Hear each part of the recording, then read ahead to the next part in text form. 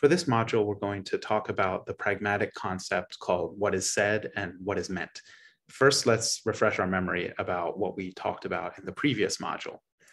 Remember last time we looked at this letter that Jonathan wrote to Mary, where he wrote, Mary, you really are a great person. I hope we can keep in correspondence. And then he put that letter in a bottle and threw it into the ocean. Uh, so last time we talked about what this letter might mean. We brainstormed some possible explanations of this letter.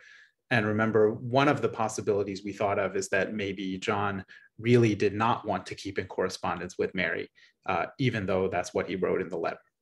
So this was an example of how someone might say something that's different from what they really mean. Uh, let's look at one other quick example of this phenomenon.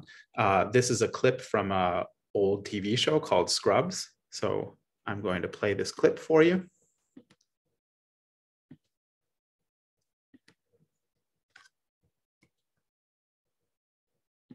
Let's face it, what a doctor says and what they mean are often two different things. I know Dr. Robbins treated your husband in the ER, but we're going to approach this case a bit differently. And it's very comforting to have the chief of medicine here. I took a special interest in this case. Oh, thank you. Let's face it, what a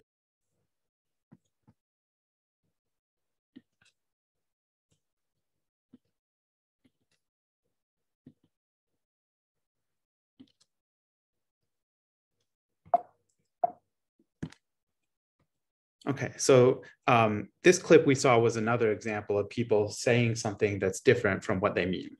Right, so um, this brings us to the pragmatic concepts, right? In pragmatics, we talk about these two things. Um, we call them what was said and what was meant. So it's very simple, right? We don't need any technical terms for it. Um, in pragmatics, we we use the term what was said to mean literally what a person said, uh, what it literally means. Um, and what was meant is the figurative meaning or the meaning between the lines, what they actually mean by what they said. Um, so in the example we just saw before, uh, the doctor said, uh, I know that Dr. Robbins, this other doctor treated your husband, but we're going to do things a bit differently.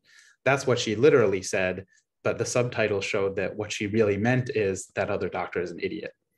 Um, if we go back to the Jonathan's letter that we talked about before, we could say that you know what was said was what he actually wrote in the letter. Mary you really are a great person. I hope we keep in correspondence. But what he actually meant might have been something more like i don't want to keep in correspondence with you. Screw you mary or something like that.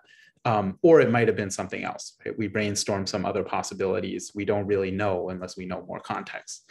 Um, so these are all kind of exotic and funny examples but we also see differences between what was said and what was meant, uh, even in normal, common, everyday language.